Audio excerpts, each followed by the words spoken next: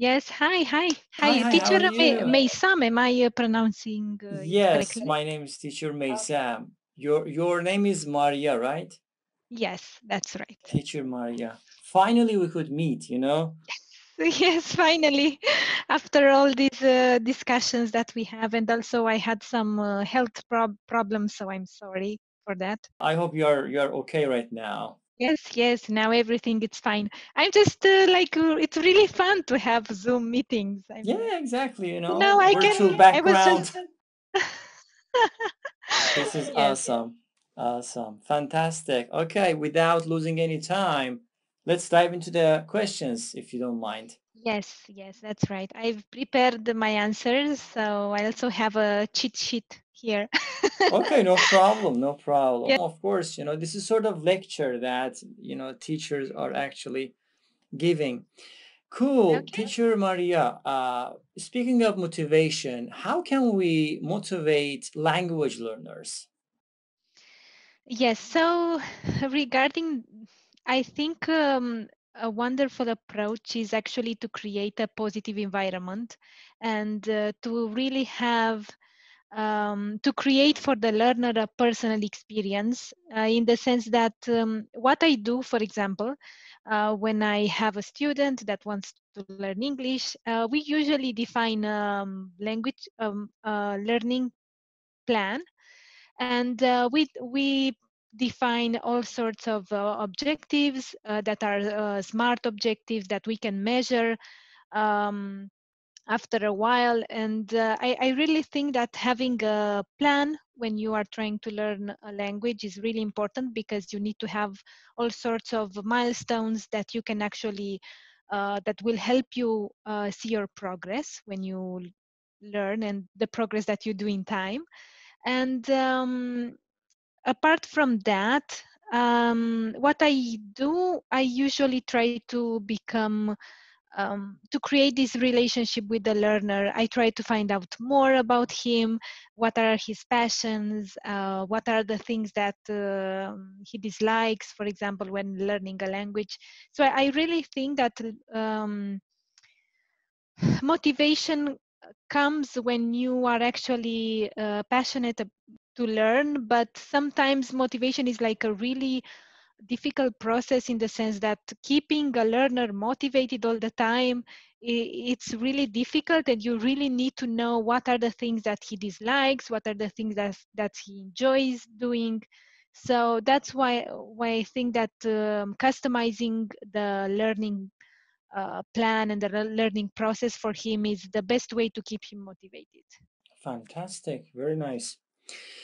Um, what is the difference between young learners and adults?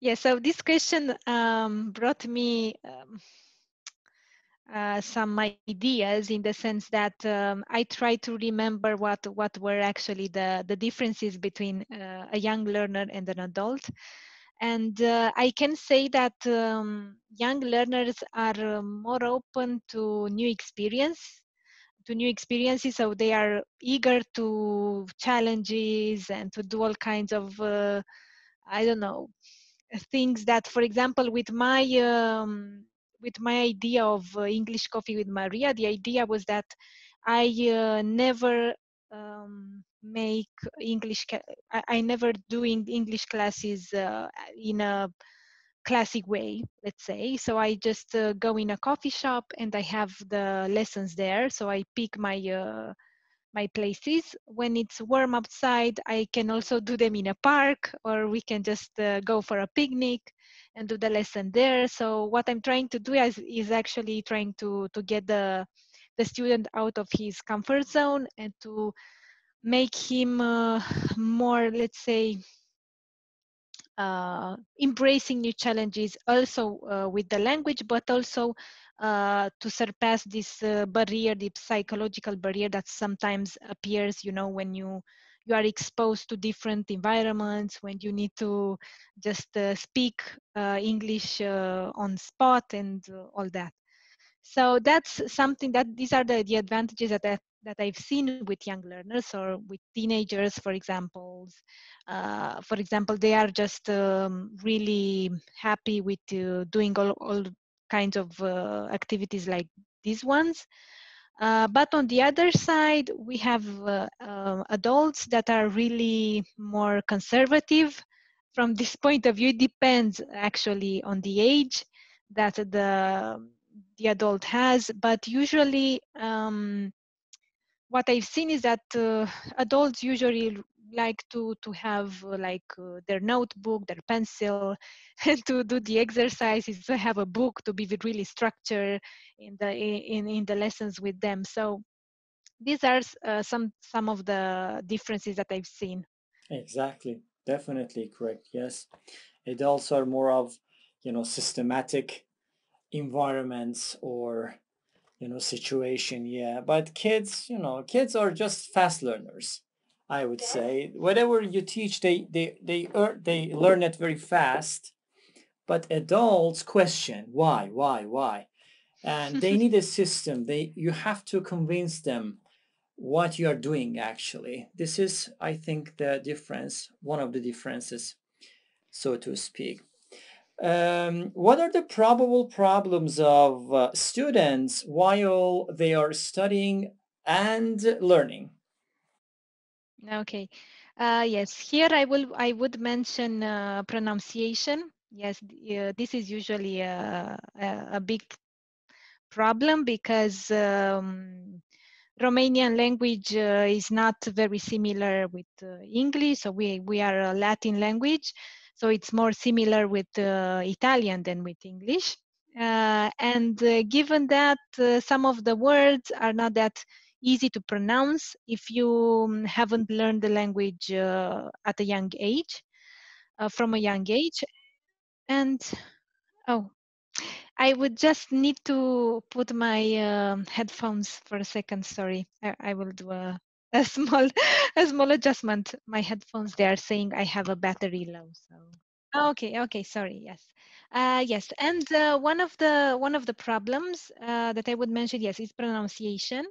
Uh, another one um, that I've uh, mentioned it here, yes, the psychological barrier, because sometimes uh, it's more of a, a, fight that you have with yourself. So you need to get out of your comfort zone you need to start uh, thinking in English, uh, to stop translating. And also, uh, this brings me to my other uh, issue that I have with students that keep, uh, they just keep translating in their heads. So before speaking, so they translate the phrase and then it comes out uh, a little bit distorted from a point of view because it's like it's not how the English language should uh, sound. But um, apart from that, these are the, I guess, the three major problems that I've seen. Mm-hmm. Yeah, we can say that. And um, what sort of material would you recommend them to use? Like books, apps, websites, or digital platforms, online, offline, whatever? Any specific and useful and unique material would you recommend students as well as uh, teachers to use? Uh, yes, um, I'm I'm on uh, a non-conventional teacher from this point of view, so I won't recommend any books. However, there are lots of books that uh, I mean, nowadays you can just uh, search it on uh, Amazon, on I don't know Google, and you can buy plenty of books uh, in English that can help you. Um, there is a book that I use uh, now, depending on the level of English that the um, the student has. There are different uh, books that I use, um, but um, whenever I have the the lessons, I try to bring something uh, spicy to my lessons, and that's why I use uh, some kind. I, I, use sometimes some websites. Sometimes I just uh, uh find some interesting articles from the internet. Sometimes it's just uh, um, it's just um, the two of us listening to some uh, to some music and trying to understand the lyrics so it it usually depends also on the um, on the kind of, of student that I have and uh, on what he's interested in. But uh, there are some um, so resources that I would recommend and I would like to mention. So one that I use and it's I think it's very useful and really entertaining uh, is BBC Six Minutes English uh, because it has the the, um, the, the article written you can also listen to the news. And there, there is also a part of vocabulary that you can uh, revise at the end. So i really think that's that's a really interesting resource that i use. Mm-hmm. uh, then there is an app uh, that i recommended also on my instagram page. It's called um, catch the words app and I've uh, collaborated on a couple of occasions with the with the team from Catch the Words. And this app is actually really interesting because you have uh, some videos. So basically, it's more of a listening exercise because you listen to to a video, to a short clip, and then you have to catch the words that and the expressions that were pronounced during that video. And for example, if you don't have any listening practice, then uh, it might become uh, difficult because th- there are uh, short clips from uh, TV series like Friends or uh, American Guy, and uh, all, all, of these are um, are TV series where the actors are actually speaking with with accents. So they are speaking sometimes really fast. So you really need to catch the words and the expressions. cool, cool, nice. Thank you. And the question is grammar and vocabulary. Which one is important and why? And how can learners improve their grammar and vocabulary? Yes, um, they are both important. Uh, so I honestly think that one cannot exist without the other. so um, I would say that um, um, something that I recommend. So I know that uh, every learner just hates grammar, and this is something that we all we all learned a lot when we were uh, in um, in school. Yes, but uh, however, um, sometimes um, I really think that it's more important uh, for a learner to actually focus on learning constructions on learning uh, not only words but also the way in uh, i mean certain expressions so that he can actually enlarge his uh, vocabulary and also be able to form a correct phrase. So for example instead of um, i don't know learn instead of learning uh, the word happy and uh, the word uh, married for example you can simply learn happily married like an expression you know or uh, uh, also there are lots of uh, of things out, or th- that you can uh, you can learn. So what i recommend uh, so these are in fact collocations that we we are talking about but this is uh, an advice that i give to my students to actually observe whenever they read an article, a book, or something that is written, or listen to a podcast or news or whatever, uh, they should actually focus on capturing the the exact expression that is uh, that is pronounced. Because in this way, it's easier for you to to form the phrases in your head instead of just having knowing the the words, but you don't know how to link them. So that's something that I uh, I recommend. And yes, uh, grammar comes in uh, when uh, you need to put the right uh, tenses and you need to know how to, for example, present yourself, uh, present your past uh, in an interview and all that. However, this um, grammar can also be learned through stories. there are lots of techniques that are on online, so you can actually make even you can even make grammar sound uh, pretty at some point if you actually use the the correct resources to to learn it. Cool fantastic. And uh, it says here how did you personally learn english? Mm-hmm. so i've learned uh, english from my mother because my mother um, is was an English teacher, and now she retired.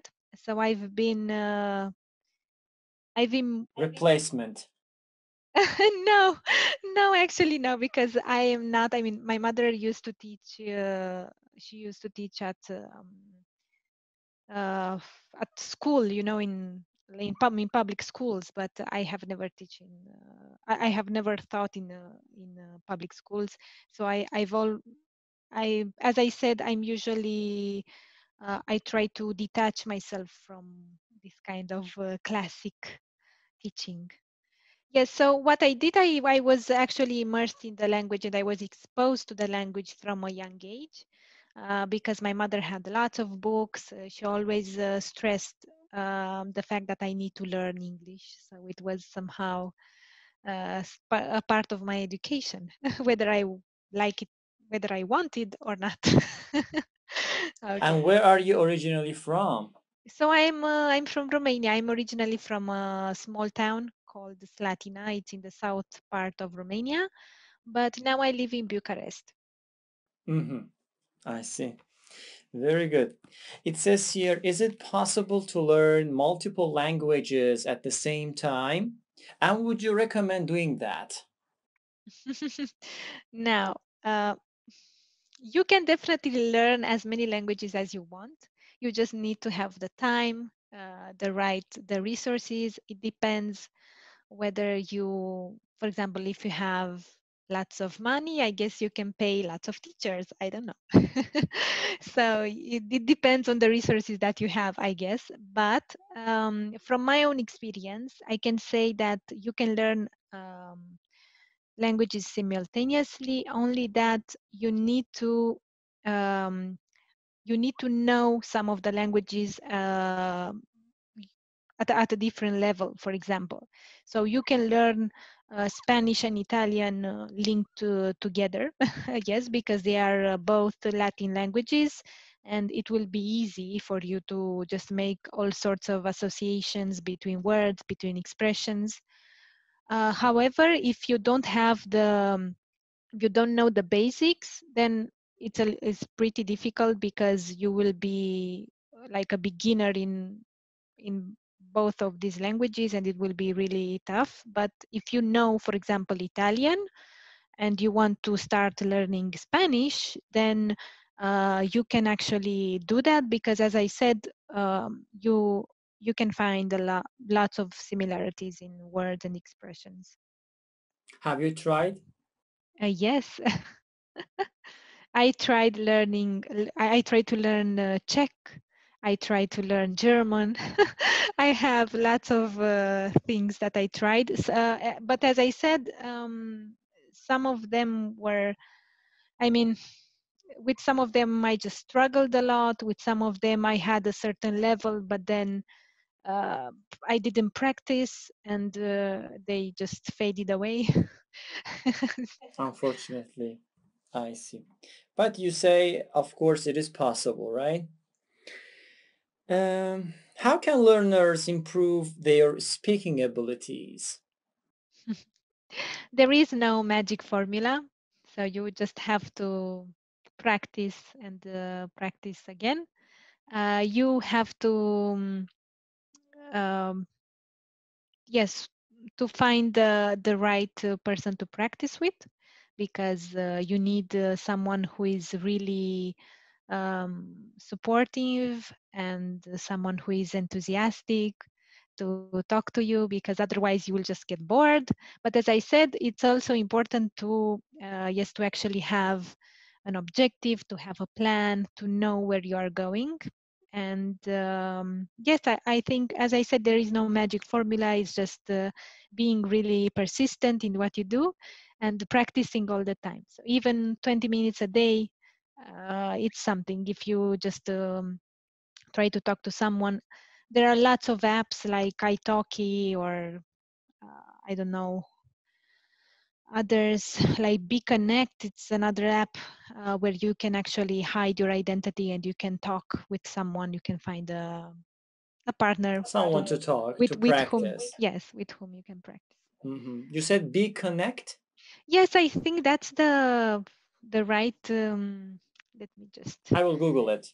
I will Google it. yes, just a second. I, I just need to to check it. Uh, so because I actually uh, promoted it on my uh, Instagram at some point, but I I forgot the name because th there are lots of apps, and sometimes you just uh, lost. Oh yes, no, it's uh, bow bownect boonect Boonect. boonect. Yes. Could you please spell it? It's like B O O N E C T. Yes, what's interesting about this app, it's like uh, it's an app that doesn't have like uh, really, I don't know, it's uh, at the beginning, I guess. But what what's interesting is that you can actually uh, hide your identity, so you can just use whatever user you want. So for example, if you are a shy person and you don't want to get exposed, that person to see how you look like or to know things about you, you can just uh, make some random calls uh, and you can practice, you can speak English with the, user. I know that there are some uh, students that are using it, some followers that told me they are using. I also used to uh, do some calls uh, just uh, for the just to try it out. so I, I also had some calls uh, with some Mhm, Okay, I will check it out. Cool, thank you very much. And uh, the next question is accents and pronunciation.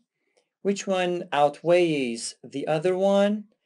And American English versus British English. What do you think about these two Hmm. concepts? Okay, so I uh, think pronunciation is um, more important than accent from my point of view, uh, because um, it depends from one person to another whether he can acquire the the accent or not. Um, after all, uh, there are uh, studies have shown that there are lots of English-speaking persons that are non-natives, uh, and they are more than the native ones. so, uh, having this in mind, um, you can say that um, you can be a good, um, you can be good uh, in um, speaking English, and you can have a good pronunciation. Uh, but you you might not have the accent and that's okay because you just need to make yourself heard you just need to make yourself um, understood by the others and that should be fine. You can communicate you can work in english you can have calls in english. So that should not be a problem if your native accent uh, sometimes uh, comes in. Exactly. hmm And what about American English or British English? Yes, well, uh, I would recommend American English because, from my t- point of view, it's uh, an easy way of uh, talking, I guess. So that's um, American English is something that I um, I feel more close to. Uh, however, British English is more of um, aristocratic way of speaking English because it's the British way, and you just need to to be like uh, Classic and yes, formal. really ladylike. You know, when you just go and order your tea and all that. I see. Okay, possible. Uh, is it possible to learn English without going abroad? Yes, I am the living example. okay, because I've never been to a speaking English speaking country. I've never lived there. I only went in Europe and I visited a couple of countries that were, um, um, I mean, they weren't uh, English um, countries, English speaking countries. Uh, so, yes, I am the living example. I've learned English uh, from uh, by myself sometimes and uh, also from school yes and uh, i also had uh, some online classes that i attended um, and i also have a, um, a, cambridge certificate and all that but uh, what I am trying to say is that you don't need my answer to your question would be that you really uh, it's not a compulsory thing to go abroad and in order for you to, le- to learn english you can learn english by yourself just sitting in your country you just need to have the motivation the proper motivation and you need to be persistent in your goal Exactly. Very nice. And um, how long will it take for a person to really learn every necessary elements of language to speak it properly? Yeah. my answer to this question would be that it depends whether the person is a fast learner, whether um, I don't know how engaged is he in the learning process, how um, how much does he want to to actually to to learn the language.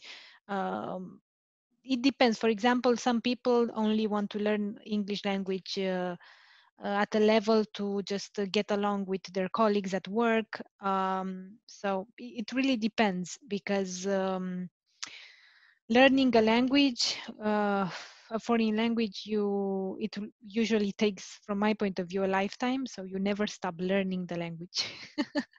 it's not like it's a it's a long process, and sometimes it uh, it lasts a lifetime. Exactly. Fantastic. Fantastic. And uh, technology and education education do you think that the integration of these two elements or let's say concepts whatever can be a good idea or can be a bad idea or harmful idea what do you think about this i think it's a useful idea definitely because um, um, nowadays young people are uh, exposed to the English language anywhere. So whether they are on Twitch playing a game, whether uh, I don't know, they are on Facebook.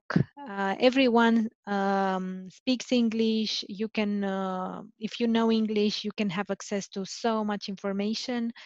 And uh, I really think that uh, technology really helps um, uh, an English learner to actually learn the language even better. And you for example on instagram there are lots of teachers uh, that can that teach you english for free so you really have all the resources it's only up to you if you want to learn it or not so i can say that in my mother for example uh, she didn't have access to all this kind of information and technology and all that and she learned english by herself so it was uh, even more difficult for her to learn English, but she speaks English even now. She has friends on Facebook. She speaks with them. So it's something that uh, it's really interesting because she learned uh, English in a different way from the way that we are.